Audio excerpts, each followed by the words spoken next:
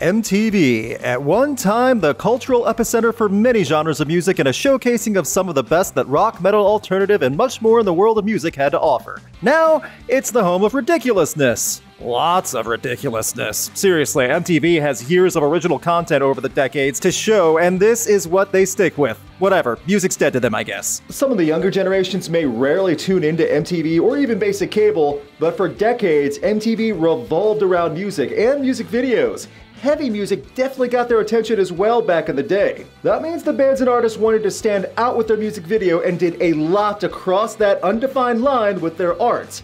MTV did not always like that, believe it or not.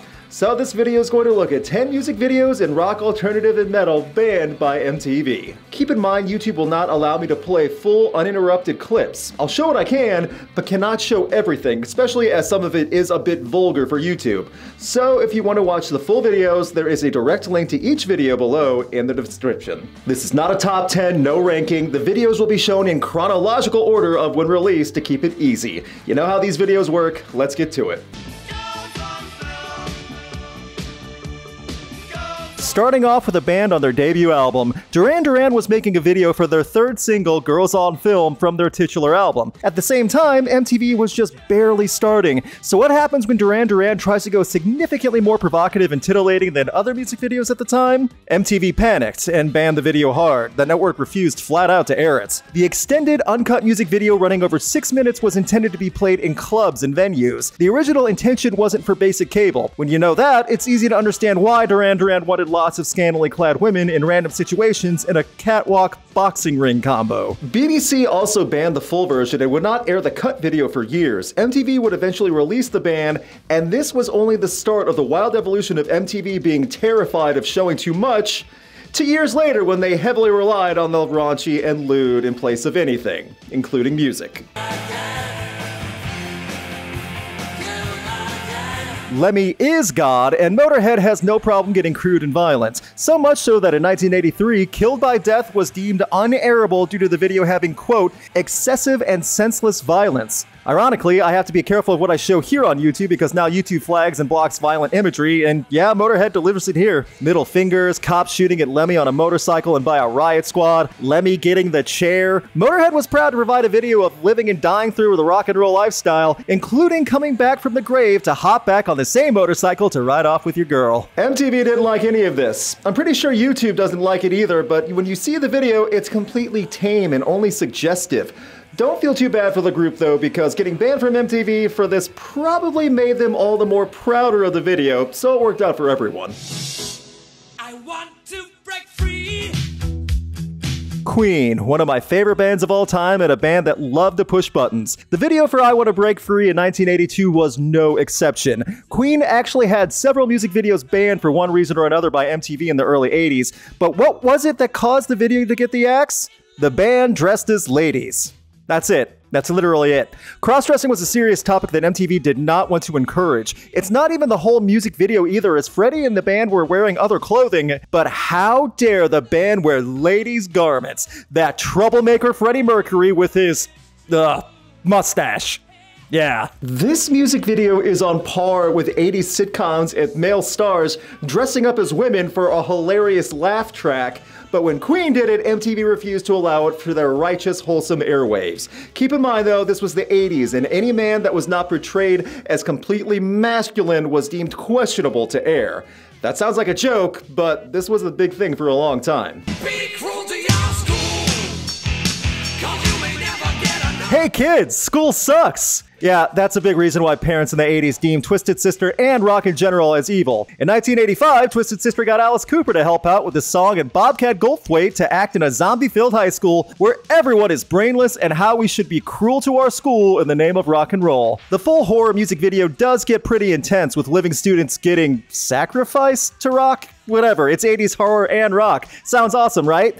MTV said hard out of this for many reasons the message, the violence, and it's a shame because everyone missed out on what the musical version of The Walking Dead would have looked like if made in 1985. To quote Mr. Dee Snider, our videos are simply meant to be cartoons with human actors. Seems obvious, but those religious moms in the 80s wouldn't take that as an excuse. Well done, pro censorship of the Reagan era. You sure accomplished something. Megadeth and Dave Mustaine have never shied away from some controversial topics in their music, and in 1987, Megadeth started their legacy of having music videos banned from the network with In My Darkest Hour. And when it's when you see the music video, you only see a band playing live on stage to a crowd of headbangers. That's it. Why in the world was something like this banned? Because of the content and meaning of the song. MTV was not okay with the meaning and message of In My Darkest Hour, which MTV saw as it being okay to take your own life. Dave Mustaine defended the song for years as being inspired inspired by Cliff Burton, but MTV held their ground and said there was no way this song would corrupt the youth on their network. MTV would let other songs do that in the future and not be metal, but Megadeth was seen as rebellious and pro death for ridiculous reasons from the name Megadeth to just being a metal band. That's all you needed to be seen as a tool of the devil in the 80s. This video was a prime target of metal is corrupting the youth. Dirty metalheads. It's one thing to be crude, suggestive, or violent, but it's a totally different crime to go against the world of advertising. Neil Young made a statement about massive musicians and celebrities working for advertisers in the late 80s, and MTV was legitimately terrified by this because the network was afraid of advertisers pulling out and therefore losing revenue. Neil Young got pretty vicious in the video, to be fair, poking fun at Michael Jackson's hair catching on fire, and then taking shots at poor old Spuds MacKenzie. When you hear the song, though, it's completely tame. It's just just a joke track with a message about Neil Young not selling to commercialism. MTV was not having any of that. Long before Neil Young took on Spotify, the man took on Pepsi, Budweiser, any massive advertising campaign in general. Neil Young's video was banned. Young wrote a public letter calling MTV executives spineless jerks, and then the music video would win Best Video at the VMAs that year. MTV, able to support music videos and the almighty dollar. Arguably my favorite Soundgarden song, Jesus Christ Pose helped put Soundgarden on the map, and MTV was not as helpful as they could have been. In 1991, graphic religious imagery was the deciding factor that's got Soundgarden's music video banned, despite the song not being an attack on Christianity or anything overtly religious. Chris Cornell did many interviews talking about how televangelists were exploiting the symbols of Christianity and how so many were using something sacred to make money. That's what the song Jesus Christ Pose is about. MTV wouldn't hear it back in the early 90s, saw the name of the song and Christ figures getting crucified in the video, and MTV refused to air the clip. The meaning behind Jesus Christ Pose is strong and not an attack on Christianity, but rather defending it and calling out exploitation but you would have to listen to Chris Cornell and the meaning of the song, and MTV had no time for that. MTV would eventually ease up on air the video later in the 90s as Soundgarden continued to go platinum, and they saw they were a bit too harsh. Most of you clicking on this video probably knew Nine Inch Nails was coming on the list, and Trent Reznor in 1994 went out of his way to terrify every suit wearer in MTV boardrooms. Closer is infamous for its lyrics alone, but add a music video with graphic imagery, animals alive and deceased, religious imagery, uncensored skin, and the full video of Closer was banned almost instantly. A heavily censored version of the video would later air blacking out much of the content and got creative with scene missing title cards, which only had people wanting to watch the director's cut even more. MTV censoring the video drove more people to Nine Inch Nails. To this day, Closer still is lauded with praise for an unnerving horror film vibe. MTV worked with Reznor and director Mark Romanek to get the video to work on MTV, and for those wondering about the animals, there was an ASPCA member on set to make sure no animals were hurt and they were all taken care of. In fact, the monkey got paid better than some of the staff on the video.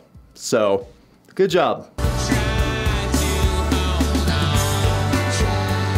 After the Smashing Pumpkins dominated the 90s, Billy Corgan and company would go on in a different direction with a new song in Try, Try, Try, and go on even further with a 15 minute music video directed by Jonas Ekerlund. I'm sure I mispronounced that, I apologize. The video is not a feel good viewing as it follows an addicted couple begging, stealing, and going to extremes. The abbreviated 5 minute version was still deemed too graphic and inappropriate as it had visible showings of narcotic use, which was big no nos for MTV for obvious reasons. The music video is well done, and even if the music is oddly dreamy for this type of video content, still creepily connects. Sometimes art goes too far in execution, but at the same time, I'm not sure Corgan was worried about getting MTV video airplay for this one. It was a project he wanted to do.